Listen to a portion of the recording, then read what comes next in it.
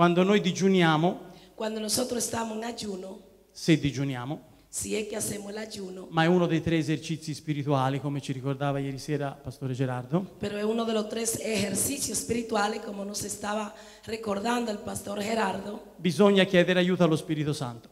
necesitamos la ayuda del Espíritu Santo. Che sia un digiuno di un giorno, Que o sea, due o tre, que sea un ayuno de un día, de dos o de tres, perché abbiamo bisogno della forza porque nosotros necesitamos de esa fuerza, soprannaturale una fuerza sobrenatural, per affrontare questioni naturali dell'uomo,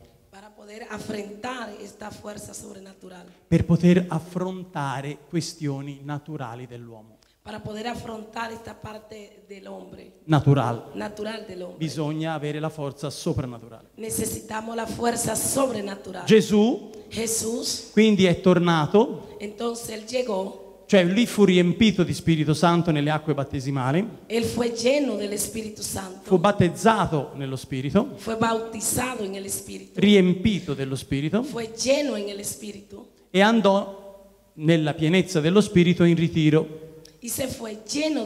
Santo al retiro. E poi, dopo, tornato, Y después que él volvió, nella potenza dello Spirito Santo, en el poder del Espíritu Santo, iniziò a predicare la missione sua che gli era stata affidata. palabra. Sì o no? Bene? Cosa succede? Entonces.